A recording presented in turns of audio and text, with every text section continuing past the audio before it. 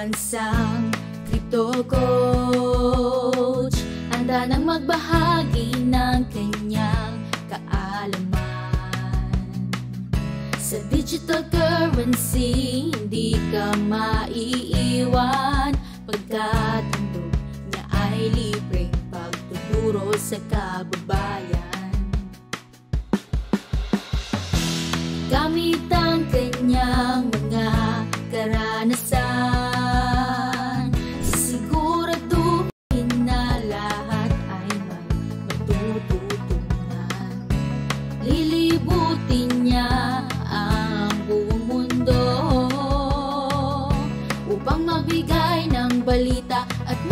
mga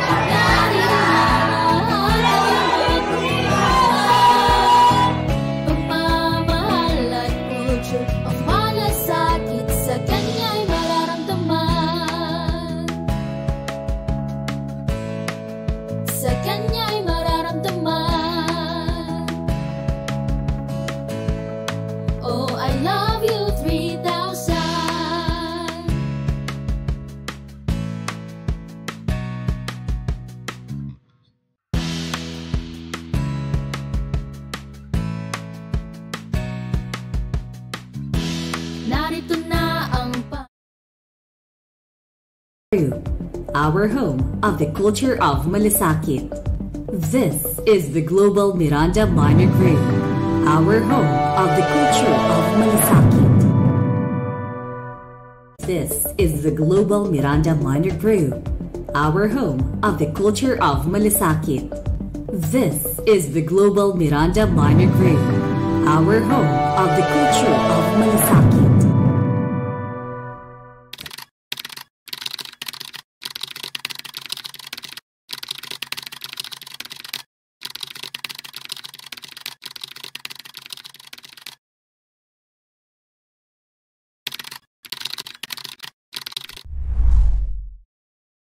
Subscribe, like, follow, and share.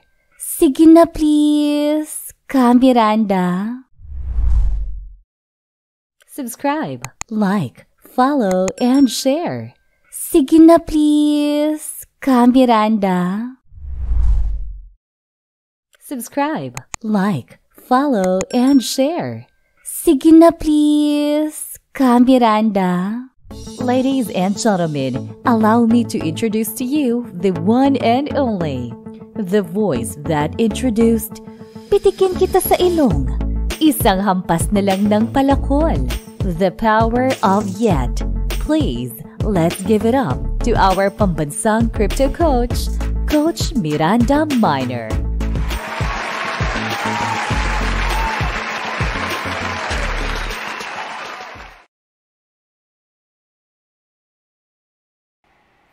Hello. Hello, hello, hello, Kamiranda. Kamusta ka na? Kamusta ka na, Kamiranda? How are you?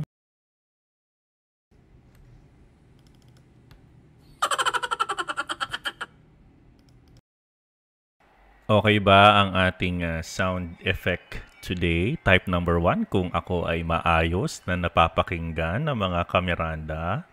Sige nga.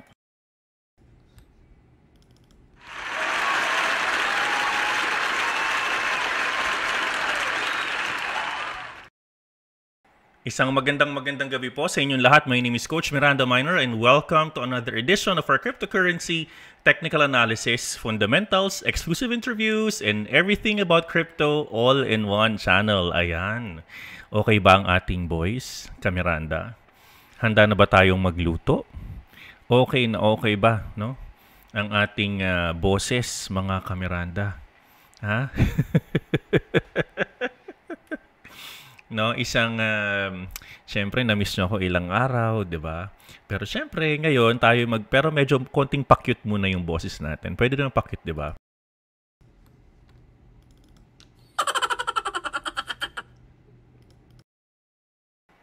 Anyways, all right. Okay. Uh, okay, so isang magandang uh, gabi, um, umaga, hapon sa inyong lahat. My name is Coach Miranda Minor and welcome to another edition of our cryptocurrency technical analysis fundamentals, exclusive interviews, and everything about crypto all in one channel. Mga kameranda, sa pag-usapan po natin ang ating mga napapanahong mga topic, lalong-lalo na po yung ating XRP discussion. No? Isang uh, napakaganda pong topic niyan and that's one of the things that I would like to discuss today and educate our community because may mga important dates po tayo, kameranda, na uh, dapat po nating maintindihan at malaman. No? Type number one, kung kayo po ay ready na. And of course, hello po sa ating mga nasa Twitter and also in our Facebook channel. Maraming maraming salamat kami. Let's actually start our day at this point. Let's do this. A quick review of our top 10 coin prices, fundamentals, and macros brought to us by the Global Miranda Minor Research Group.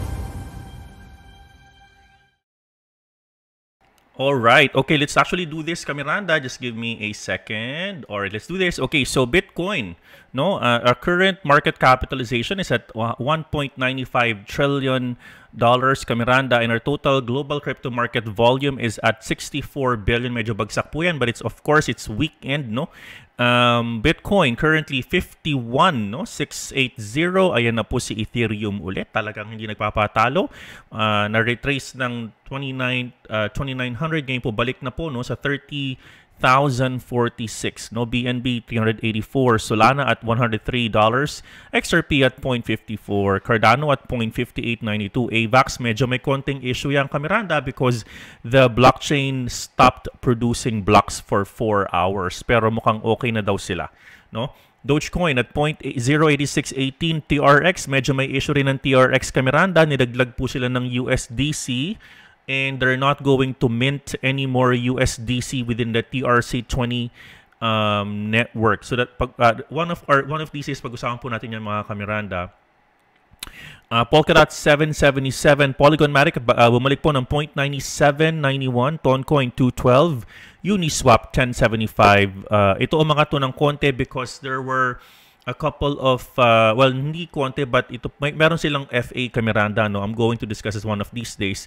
ICP at 1246 SHIB Inu at 9637 and BCH 267 Litecoin is sort of a stable coin today at 70.03 by the way type number one if you can if if you are still excited sa bagong mic ni coach talagang malinaw po ang ating uh, dating sa inyo at medyo nakakaantok ang boses ha. Alright, let's actually now go with our topic for today mga kamiranda. Let's all discuss all of the worthy issues ngayon sa ating market. This is Coach Miranda Minor Reacts. Tutok na!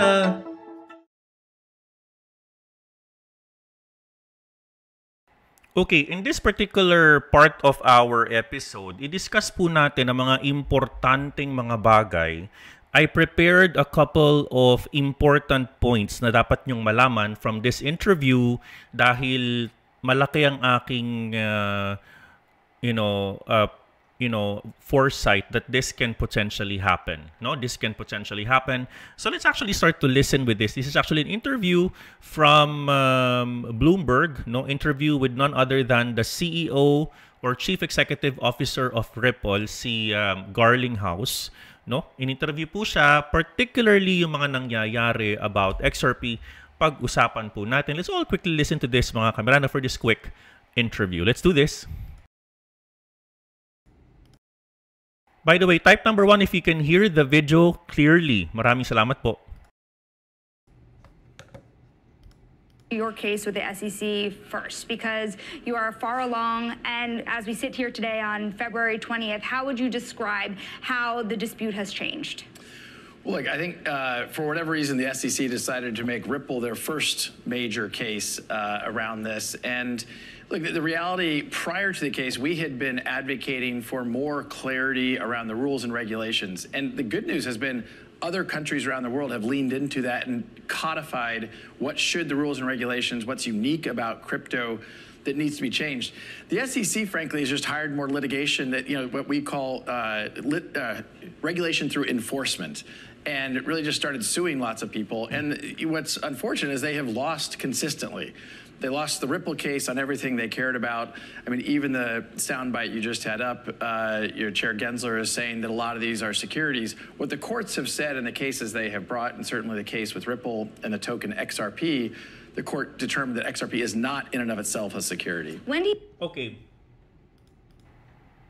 So pag-usapan natin yan, Kamiranda. So sabi po ni Garlinghouse, the court has ruled that XRP in itself is not a security. Couple of dates, no? Kailangan po natin itong tandaan. Kumuha po kayo ng lapis, ballpen at ng panulat. Pakitandaan po itong mga dates sa sasabihin ni Coach Miranda Minor. Unang-una, pakitandaan po ha, by March 12, no? By March 12 ang Securities and Exchange Commission po no ng United States deadline po ang March 12 for the SEC to file the remedy brief. Remedy brief no? Ang ibig sabihin nito lahat ng kanilang dapat pang sabihin particular sa kaso doon sa inapila nila which is on case number 1 where XRP or XRP has been sold um, to institutions and the court ruled na ito ay um, security. So ito ay deadline. March 12, Kamiranda, um, SEC need to file the remedy brief. No? And then by April 12, ang opposing side, no, yung dalawa naman, ang April 12 ay deadline ng pagbigay ng opposing remedies. Ano po ibig sabihin ng opposing remedies? Ito yung lahat na nang kailangan nilang sabihin kasi the discovery phase ay tapos na, no? yung discovery of all relevant items have already stopped. So wala nang bagong ebidensya, wala nang bagong cheche lahat ay na-discover na. So therefore, itong mga dates na sinasabi natin, March 12 and April 12 is going to be an important date kasi malalaman natin kung may lalabas pong bago. Ngayon, kung wala pong lalabas na bago, tutuloy po tayo. Pakitandaan po yung dates and cal- put, put it in your calendars, Kamiranda. By April 29, the court, no, through Judge Analisa Torres, the district judge, no, um, is going to determine the penalty for case number one, which is, as I've said, doon natalo si Repol. Pero mapapansin ninyo, sinasabi po no ni Kuya Garlinghouse that the court has already ruled that the case um, particularly for Ripple says that XRP in itself is not a security if it's sold no on secondary market. So ang pinag-uusapan lang talaga dito doon sa ating istorya is uh, the fact that uh, the court needs to rule on item number 1. Ngayon, April 29 yan. Coach, ang tanong, are we going to be able to discover or tataas ba ang presyo by April 29? Bababa yan? Absolutely gagalaw yan. If you remember, sometime July of 2023, nag-rule out si Judge Torres around uh, that time, no? At sinabi po nila na ang XRP ay uh, hindi security on case number 2 which is XRP being sold on secondary um, exchanges no katulad ng Coinbase no or Binance for that matter. Ngayon, Kamiranda, isa po sa mga bagay na kailangan po nating um, alamin din dito is yung part na the discovery of all the new items. Ano ibig sabihin nun? Tapos na yun. No, that's already done. That's already done. So, March 12 and April 12 mga kamiranda, that is an issue na tapos na po. Wala nang bagong ilalabas. So, ano yung mga remedyo na yan? Siyempre, itong, itong tingin kong gagawin po ng Ripple and I think they must do this. Listen to me very carefully. Kamiranda, ito po, hindi ako nagmamalaki, no? But my level of analysis is something na ginagawa din pong reference ng marami ng Pilipino. No? Ako po ang isa sa mga nagsabi na magkakaroon ng malaking desisyon by January 11 at nagkatotoo po yan. No, at tumaas po talagang gumalaw ang presyo. So paki, please pakinggan niyo po ako mabuti dito. Kailangan And please, Kamiranda, please share this video sa mga kaibigan nyo, sa mga hindi nakakaalam. They must know this because a Filipino is a crypto analyst who is trying to interpret these things, mga Kamiranda. So number one, pag-usapan natin. Ano ang kailang... Sorry. Wait lang po ah, gumalaw yung aking pindutan. wait lang, wait lang, wait lang, Kamiranda.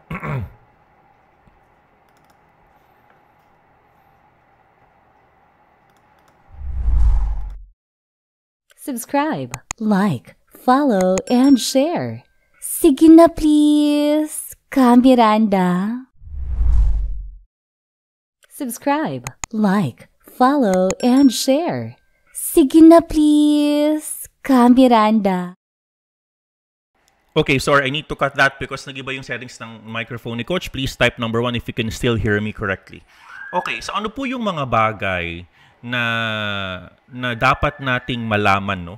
So tapos na po yung discovery period no? Ibig sabihin po nito by April 29 maglalabas na po ng desisyon. Pero ito ang dapat gawin ng XRP this is one thing that Ripple needs to do. Ano yan Kamiranda dapat makipag-settle sila. They need to settle whether you like it or not this kahit kahit masyado pa siyang um, you know even if no they are uh, very uh, you know even if they are very particular no on being matapang on on these types of cases kailangan makipag-settle sila Kamiranda and the reason why I think they need to settle is um, ito na po yung huling-huli. Ano ba ang dalawa pang bala ng SEC. Ano pa ang dalawang bala ng SEC na dapat nilang uh, na dapat malaman or tingin ko alam alam na rin naman ng Ripple ito. Number one, ang unang bala nila, they can still appeal to the Supreme Court. Okay? They can still appeal to the Supreme Court. The only problem there is that syempre mag-iiba na po ng uh, ng uh, presidente kung mananalo man ang Republican this November. So, pero yan ay isa pa ring bagay na nasa bala no ng uh, ng ng SEC. Okay.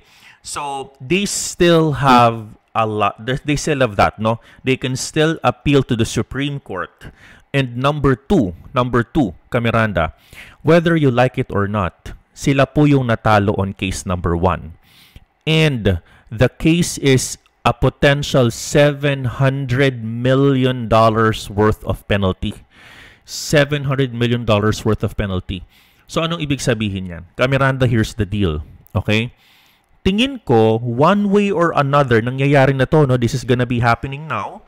March 12 to April 12, nangyayari na to. Tingin ko, Kamiranda, the Ripple um, executive team is nagtatanong na ano bang, kasi kung ako ang Ripple, syempre, maniwala kayo sa hindi, tatanungin ko din, ano ba ang aking opportunity? Meron, ano bang pwede natin pag-usapan? Tingin ko nag-reach out na yan. No? At kailangan nilang malaman yan kasi you need to remember the 700 million dollar is still a big money. No?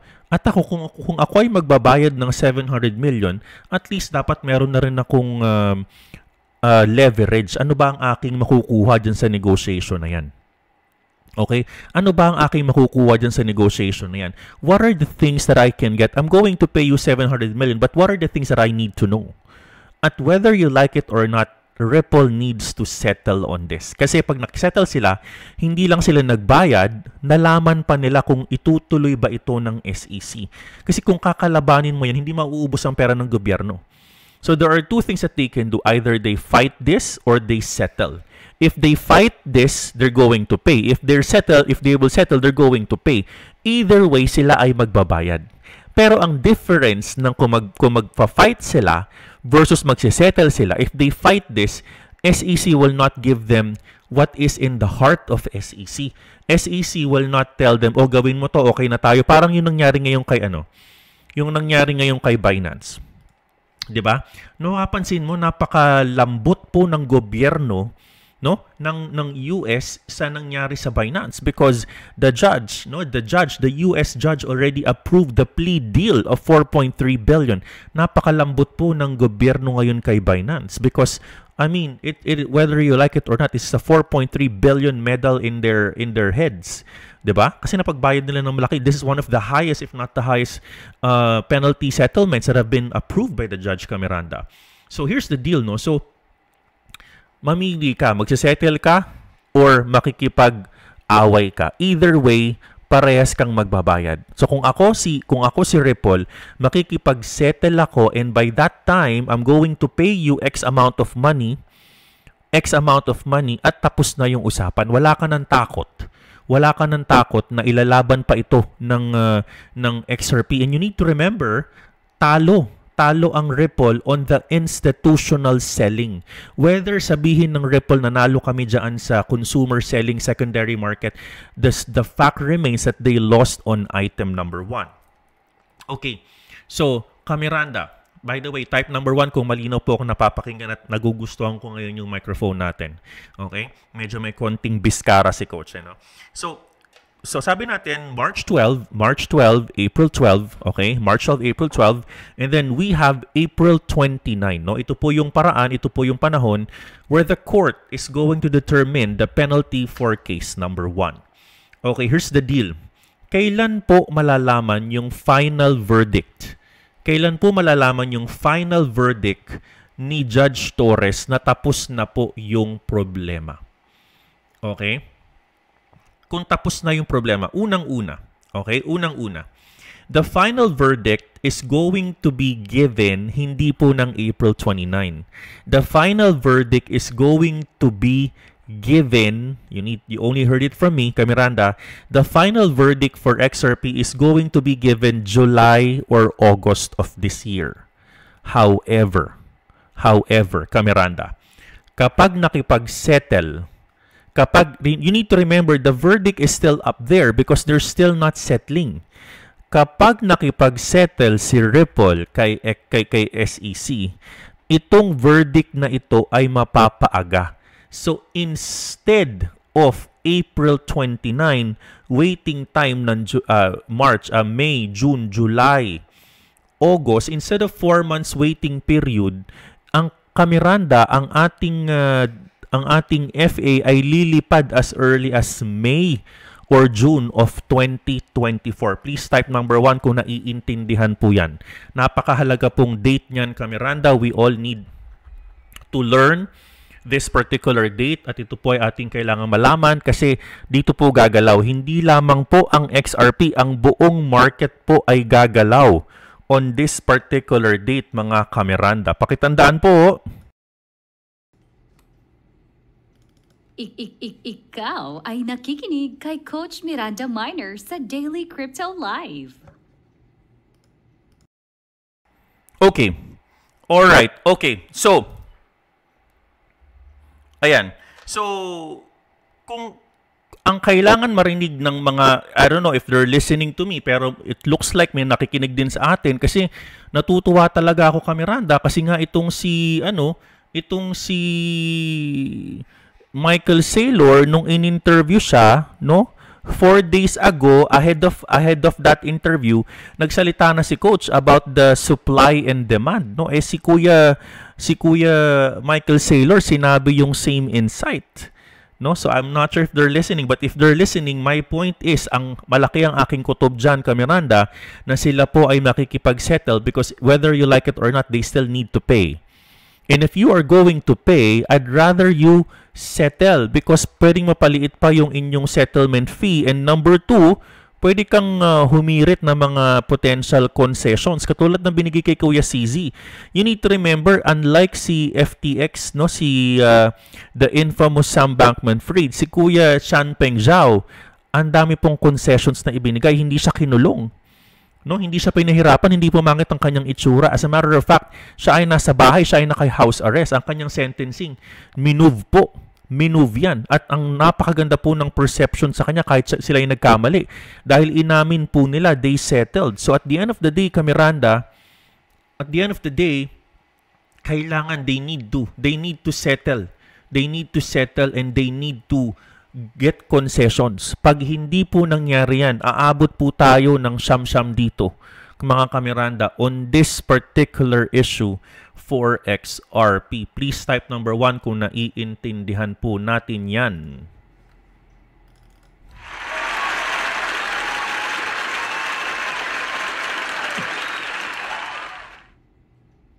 Okay, ano pa yung mga topic na dapat eh, that, that that's really our episode for tonight mga kameranda. But ano pa yung mga bagay na kailangan po nating malaman no on the next couple of days, no? So one of the things na binabantayan po natin most recently is itong pag-uusap with uh, Binance, no? Although ito po ay uh, for, sort of a done deal. Um, sorry, nag-echo yata. Or this although this is sort of a done deal for me, Camiranda, or for the for for for the majority within the Binance, eh pinag-iisipan pa rin po natin kung kumbaga kung ang SEC ay gagalaw pa you need to remember itong SEC, itong SEC case versus Binance is not yet done. Alam nyo ba yun? Guys, the US SEC case is not yet closed. Hindi ko alam kung alam po niyo yun. Okay, hindi ko po alam, no? So at the end of the day, ito pong issue with regard to the to the judge signing off on Binance 4.3 billion plea deal. This has nothing to do yet This has nothing to do yet with SEC. So, binabantayan ko pa yan. Okay, binabantayan ko pa yan, Kameranda. So, let's all watch on that. Yung Philippines SEC on Binance Philippines, lalabas po yan on the next 3, 4 days. 4 days po yan. Although, Kamiranda, isa sa mga bagay na binabantayan ko dyan kay SEC Philippines is masyado silang tahimik. No? Um, sana po kayo po within the next couple of days, eh, magbawas-bawas na kayo. Although, sa palagay naman natin is, kung baga, sasabihan naman po ng SEC ang Binance, hoy, magsara na kayo sa Pilipinas, tatanggalin na namin ang access ninyo.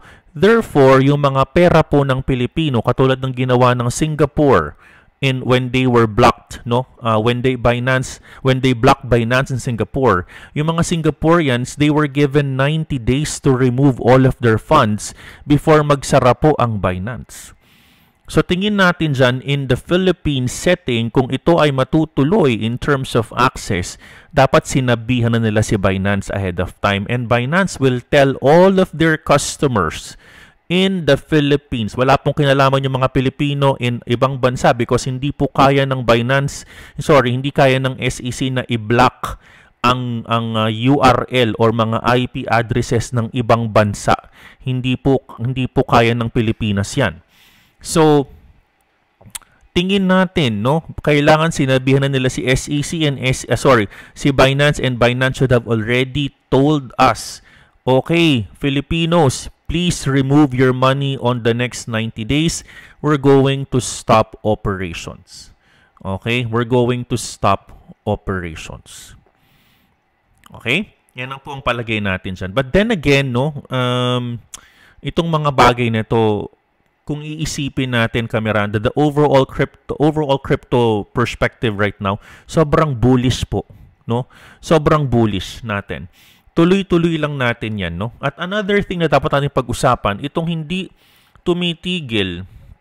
By the way, ito po yung chart ni Ethereum. Pakitandaan po ninyo, ho, no? Pakitandaan po tong Ethereum chart na ito.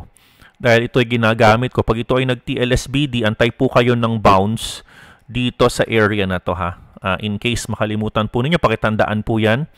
mga kamiranda. So it can potentially had have a breakdown somewhere here and then potentially 3,000 is gonna be your take profit on a shorting for TLSBD.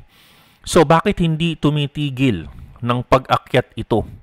Why is XRP? Sabi ko nga, this is a, this is a queen of all coins. Bakit hindi tumitigil ng pag-akyat ito? Bakit may continuation pattern na namumuo, namumuro dito?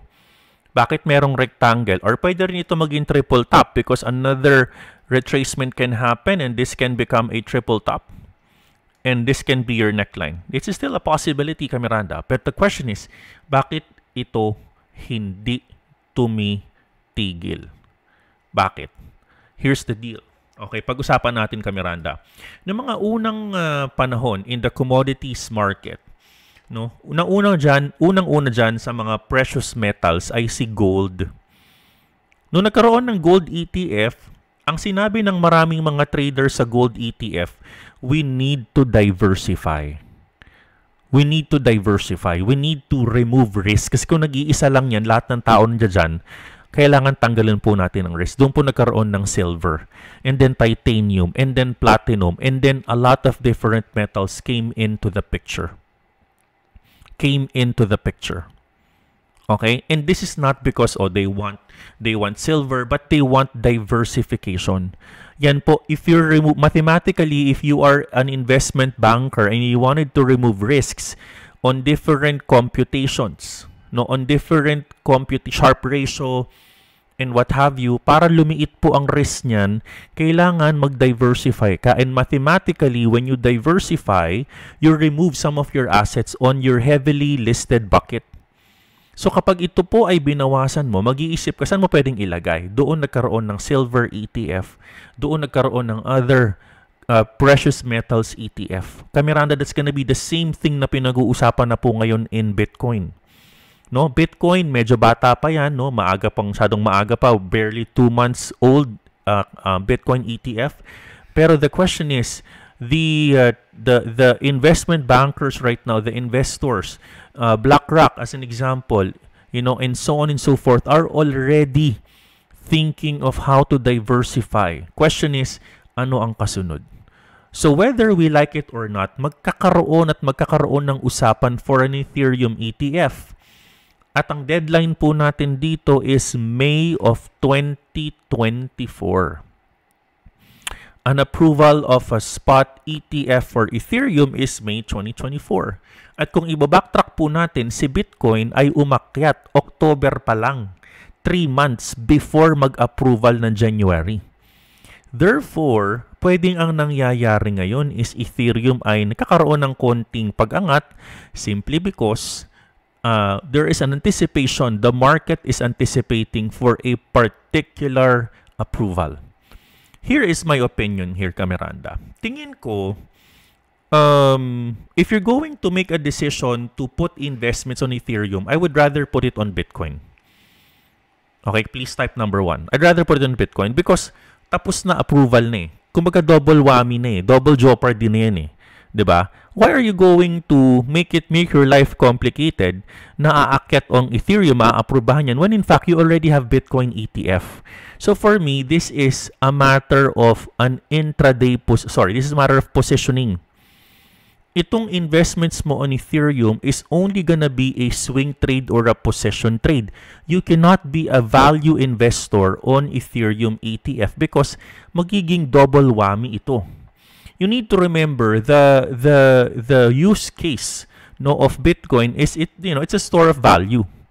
So kung magiging ganyan din ang use case ng Ethereum, eh parang double whammy lang. Otherwise, dapat ang gawin ni Ethereum on the upcoming Denkan upgrade is patunayan talaga niya that the scalability, no, that they promise 100,000 TPS tinalo pa si Solana is doable. Kamiranda, if the Denkan upgrade is very successful, it will support all the L2s including Polygon Matic lilipad po ang transaction processing speed niyan.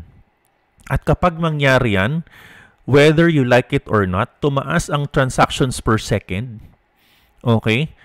Kahit same yung gas fee, or paliitin mo ng konti, that's gonna be a boost on the on the tokenomics of Ethereum.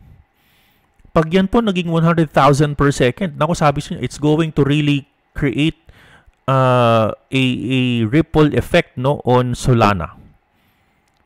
I'm telling you guys, yung mga competitors ni, ni Ethereum ngayon, they will get negatively affected. If this is gonna be a very successful event, those layer ones right now will get affected. They will now go to Ethereum. You need to remember, Ethereum is very successful. The only problem with Ethereum ERC20 is the gas fee. And sobrang bagay kaya nga may mga layer 2s, di ba?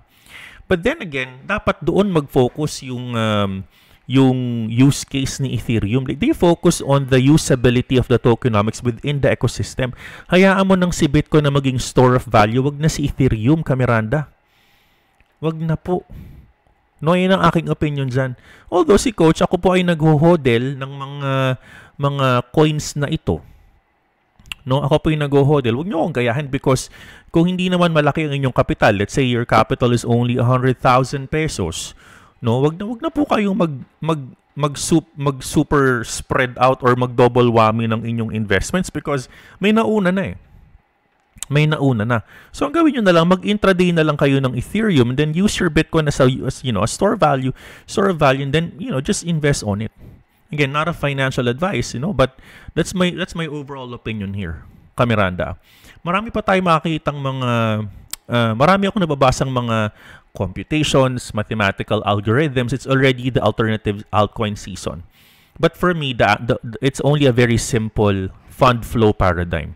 Lilipat at lilipat ng funds ang mga investors. Kapag kapag nakatenga, naka-consolidation ang mga big coins natin, the money will flow on coins that are in, katulad ng mga AI coins, nagliparan. Bakit?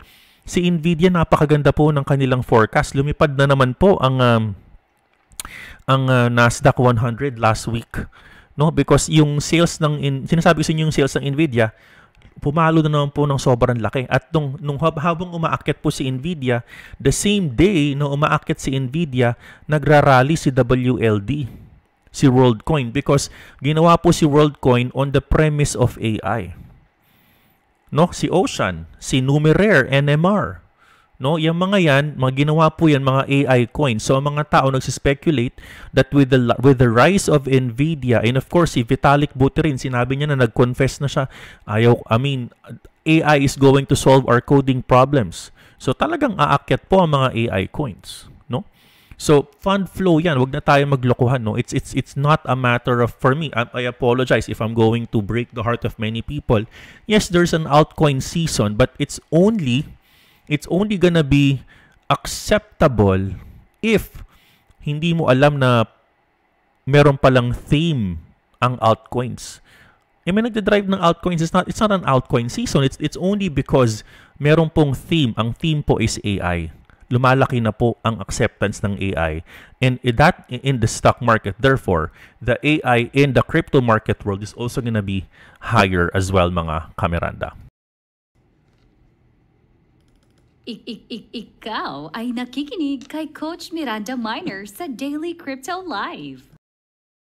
Ayun, napakasimple po ng ating live for tonight. Paki-type number one naman kung nagustuhan at medyo mas na-in love ng lalo sa boses ng kanilang coach because we're trying to improve our 2024 delivery of our Camiranda live. No? Improve po natin yan. At aking pong goal this 2024, magkaroon na po tayo ng uh, studio para makapag-interview na po tayo mga Camiranda ng mga bigating mga guest here in our house. sa ating studio, antabayanan nyo po yan mga kameranda. Pati ako na-excite, dinadahan-dahan na po natin because kaila, karapatan po nating matuto at magkaroon ng ta- tinatawag nating entertainment or learn entertainment. Ayan. Okay. Isang ASMR naman daw. Kamusta ka, Miranda? Kumain ka na ba? Parang creepy naman. Masyadong creepy yun, coach. Wag naman ganun. No? ah, hindi, hindi na nakikita rin yung mukha natin natakpa. Okay lang yan. Okay lang yan. Ayan. Alright. Thank, pa, Salamat din sa mga nasa Facebook, Ma'am Tess Dosnila, Herbert Aruta, Tita Mel, Cathy Ramos. Marami pong salamat sa mga nasa Facebook na nanonood for tonight. I would also like to um, uh, remind members, pakitingnan po ang ating face ang ating pong YouTube community. Meron po tayong contest diyan. Okay? Ang mananalo po ay makaka- makakakuha ng 1,000 pesos. Pakibasa po. Pakibasa pong mabuti yung atin pong wall. Meron po tayong con baka nakalimutan po ninyo 1,000 pesos po ang premyo. I-extend ko ng konti kasi 17 pa lang po yung nagko-comment, no?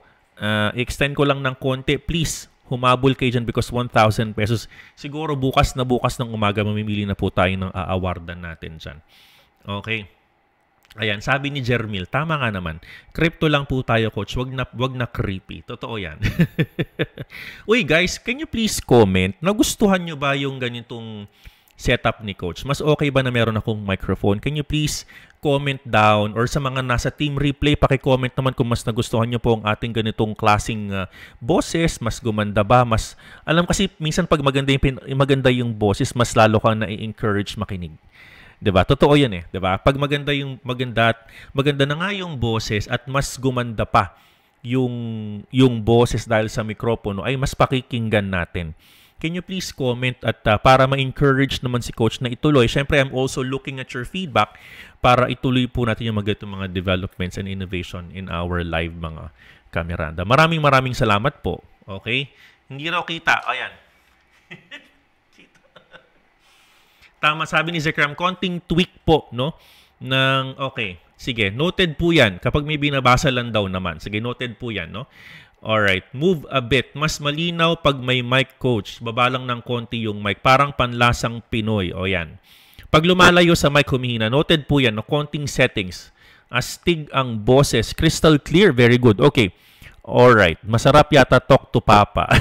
Sumogi yung boses, sabi ni Ray Vincent Alcantara. Ayan, gusto ko yung mga ganyang comment.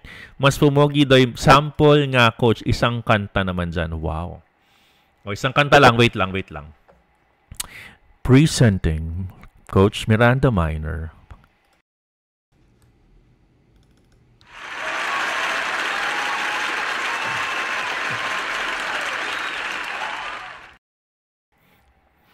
Ikaw na ang may sabi na ako'y mahal mo rin at sinabi mo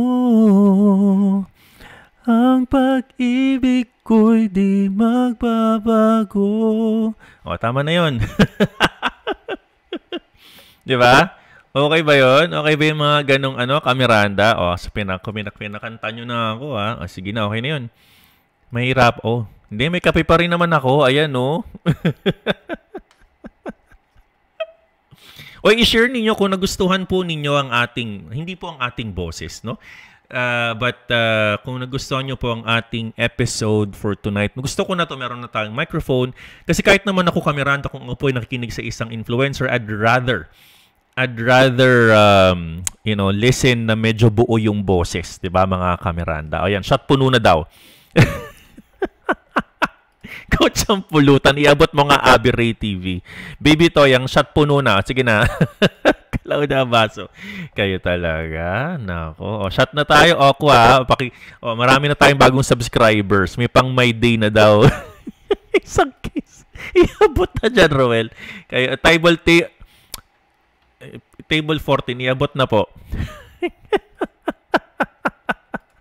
Garmit tayo ugat na. Kayo talaga. Alright. O sige na po. Maraming maraming salamat. Maraming maraming salamat mga kamiranda. Marami pong salamat sa inyo. I love you 3000. And please, don't forget to click on like and subscribe if you've actually learned something on our video. Maram oh, okay na daw. Tama. Gusto ko po ito. Maganda na raw for Dear Coach. Yes. Ang lamig daw ng boses parang ice. Ang sarap basahin. Hoy. Ay, nako. Maraming maraming salamat. No? Ayan. Nilike two times. Thank you, thank you po. Salamat po sa inyo. Ayan, sabi sana coach naka HyperX Quadcast ka na lang na mag Hanapin ko 'yan. Hanapin ko 'yan. Thank you, thank you po. Ah. Salamat po. Okay, ayan. Salamat po guys. I love you 3000 and good night Kamiranda. Members, huwag pong kalimutan yung ating contest in our YouTube community wall. Pakibasa po mabuti at maraming maraming salamat po. I love you 3000. God bless. Shalom. Hello mga kamiranda, maraming salamat po sa inyo dahil tinapos yung ating content for today. Kung kayo po ay merong natutunan at tingin nyo ang inyong mga kapamilya, kamag-anak, kapuso, kapatid ay makikinabang sa ating content, please don't forget to click on like, subscribe, and of course, i-follow nyo na rin kami sa aming mga social media channels mga kamiranda. Ito po ay makakatulong para we can further disseminate our content to the larger population. Muli, maraming salamat po. Shalom at I love you 3000. Hello